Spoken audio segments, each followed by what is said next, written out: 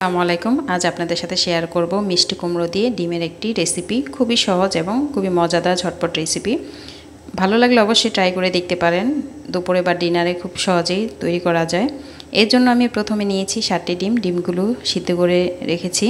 এর সাথে নিয়ে নিব একটি মিষ্টি কুমড়ার টুকরা। এটা একটি মিষ্টি কুমড়া চার ভাগের এক ভাগ নিয়েছি। আপনারা আপনাদের পছন্দ মতো নিতে পারেন। এখন ডিমগুলো পরিষ্কার করে নিচ্ছি। এরপরে আমি একটি ছুরির সাহায্যে এভাবে কেটে নিচ্ছি লম্বা লম্বি করে। চাইলে আপনার যেভাবে, যে কোনোভাবে কেটে নিতে পারেন, যেন মশলাগুলো ভালো করে ভিতরে যেতে পারে, এর জন্য এভাবে কেটে নিচ্ছি। সবগুলো ডিম এভাবে কেটে নিচ্ছি। কেউ চাইলে দুইটো ডিম বা চারটা ডিম দিয়েও করা যায়। এর সাথে দিয়ে দিচ্ছি সামান্য হলুদ গুঁড়া, মরিচ গুঁড়া ও সামান্য লবণ। এখন ডিমগুলো মেখে নিব। ডিম বা মিষ্টি কুমড়া যেভাবে রান্না করে খুবই মজা লাগে, তাই একটু ভিন্নভাবে রান্না করে ট্রাই করেছি। এর জন্য প্যানে প্রথমে তেল দিয়ে দিলাম। কিছু পেঁয়াজ কুচি করে নেব, এগুলোকে বেরেস্তার মতো ভেজে নিচ্ছি। এটা প্রায় ভাজা হয়ে গেছে, এখন তুলে নিচ্ছি। তেল একই একবারই দিয়ে দিচ্ছি এই তেলের মধ্যে রান্না করব সব।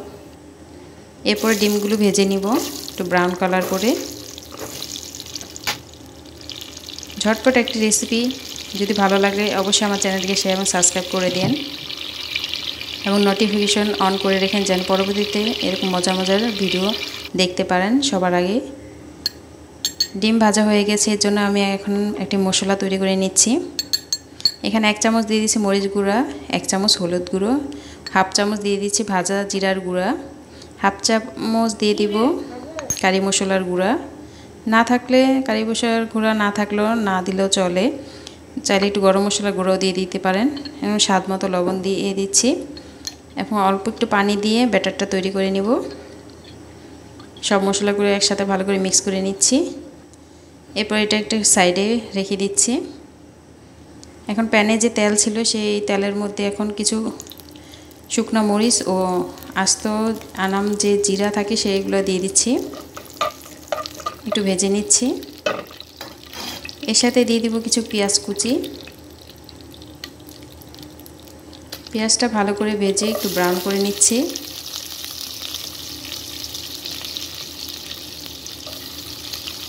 একটু অন্যরকম করে খেলে খুবই ভালো লাগে।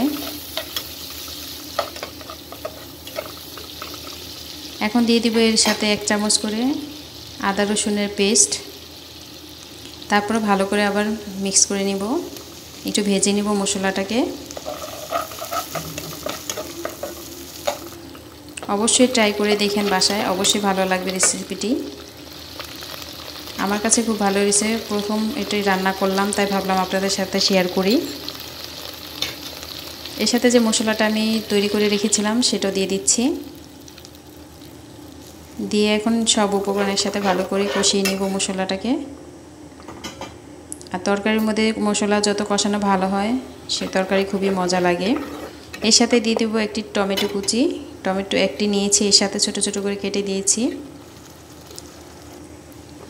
তারপর ভালো করে আবার কষিয়ে নিচ্ছি। এর সাথে আমি দিয়ে দিব এখন মিষ্টি কুমড়া ছোট ছোট করে টুকরা করে নিয়েছি।